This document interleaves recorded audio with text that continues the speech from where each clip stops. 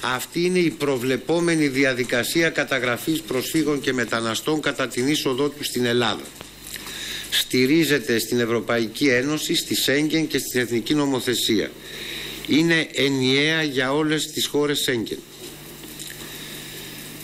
Αυτή η διαδικασία όσον αφορά το συγκεκριμένο άτομο που κατηγοριοποιείται ως τρομοκράτης και μας ζητήθηκε να ταυτοποιήσουμε έχει τηρηθεί πλήρως από τη χώρα μας.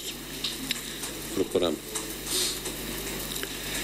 Εδώ συνεχίζεται. Πήγε στην εισαγγελία, εκδόθηκε βεβαίως η αδυναμίας απομάκρυνσης για έξι μήνες. Έβγαλε εισιτήριο για τον Πειραιά αλλά δεν μπόρεσε να ταξιδέψει. Αναγόρισε την επόμενη και έφτασε στις 8 Οκτώβρη στον Πειραιά. Από τις 8 Οκτώβρη και μετά ε, ο άνθρωπος αυτός έφυγε από την Ελλάδα. Τώρα έφυγε στις 9, έφυγε στις 10, δεν ξέρουμε.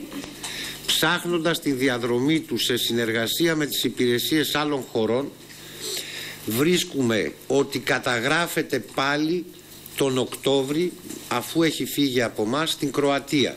Πατάς το χάρτη. Εδώ είναι το υπηρεσιακό σημείωμα που έχουμε στα αρχεία μας και που αποδεικνύει ότι στην Ελλάδα παρά τις κατηγορίες που απευθύνουν διάφοροι για ξέφραγο αμπέλι η ταυτοποίηση γίνεται με βάση τους νόμους και τους κανόνες της Ευρωπαϊκής Ένωσης και της Έγγελ. Πάμε